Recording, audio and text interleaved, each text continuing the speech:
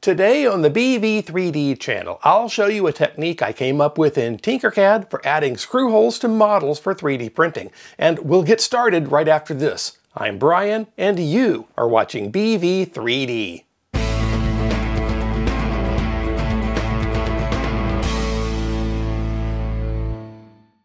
This video is sponsored by PCBWay. More on them later in the video. Hello 3D printing friends and welcome back.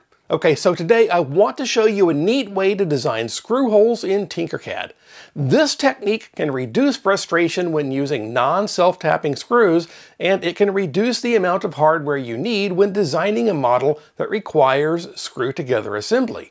So in places where you might normally use nuts or heat set inserts in a print, you can maybe use this instead. It always seems like a challenge to get the diameter of screw holes just right for non-self-tapping screws. You know, the ones like this, where they aren't designed to cut their own threads into plastic or whatever they're being screwed into.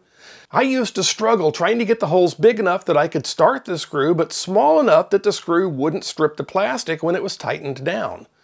So I'd start with a hole a little bit smaller than the diameter of the screw, print out a part, and then find out the hole was too small. Then I would increase the hole's diameter by a tiny bit and print it again. And sometimes that would make it perfect, but other times it would be too large. So then I'd make another tiny adjustment and print and test. And it might work fine in testing, but then when I printed all the parts out, I might still have problems with the holes being slightly too large for the screws. I knew there had to be another way, and I found one. In hindsight, the solution seems so obvious, but I hadn't run across it yet and I'll tell you what it is right after I tell you a little bit about PCBWay. PCBWay is known for making low-cost, high-quality printed circuit boards, but they also do CNC machining, 3D printing, sheet metal fabrication, and even injection molding.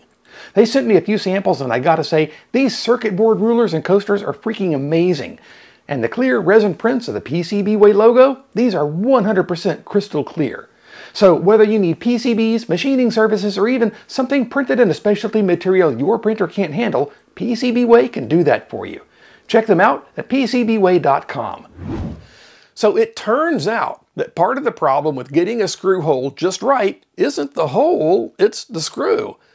M3 screws aren't exactly 3 millimeters in diameter, and I could get technical and dive into how a screw has a major diameter and a minor diameter and all that, but the short story is the nominal 3 millimeter diameter is just a number on a spec sheet.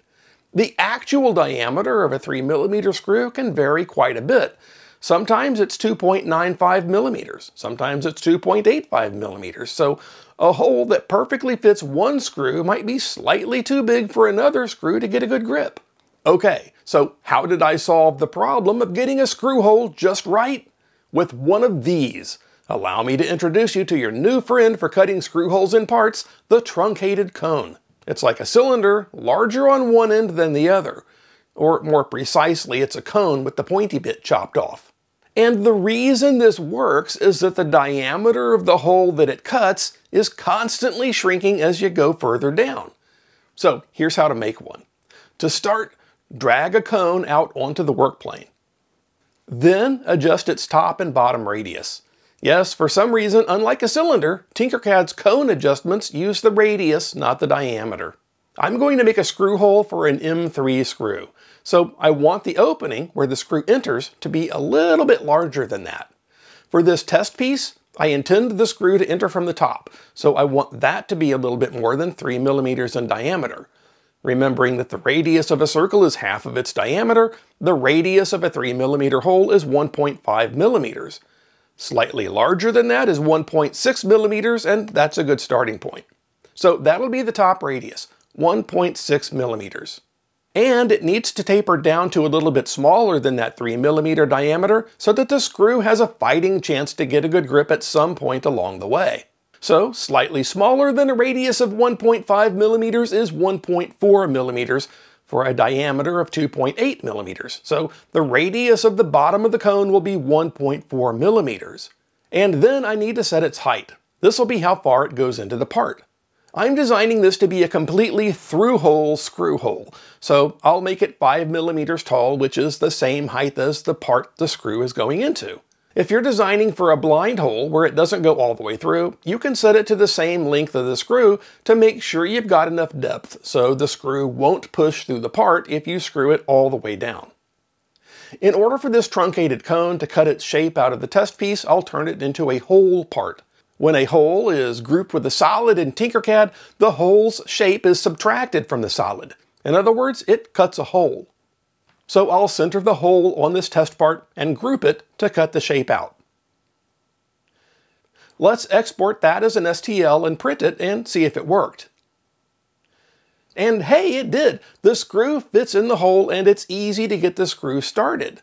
As it goes further, it gets a bit harder to turn, but that's because the hole is getting narrower at the far end, and that means it's gripping the screw better.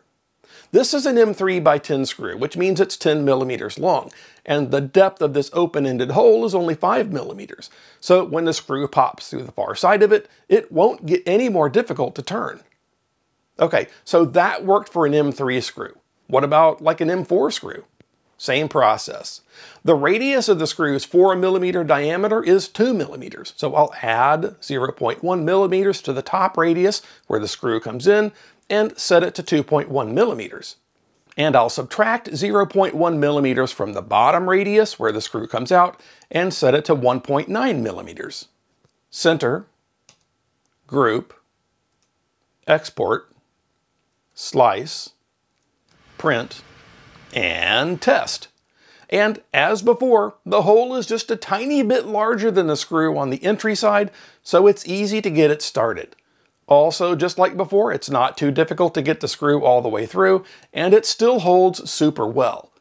If I had one other tip to add, it's to do what I did here. Make a small test part to make sure your screws fit the screw holes. Don't print a whole huge 4-hour part just to see if your screw holes are right. These little test parts only take a few minutes to print. They're less than 10 minutes each on my Bambu Lab printers. So that's my quick tip on designing screw holes in Tinkercad, truncated cones, and tiny test parts. Try it yourself and comment with your thoughts and observations. Thank you for watching, and big thanks to everyone who supports the channel, whether with channel memberships or by using the links in the description. If you liked this episode, give it a thumbs up and maybe subscribe so you don't miss new ones. Well, 3D printing friends, that's about all the time we have for this one. And now that we're at the end, let's go print something cool.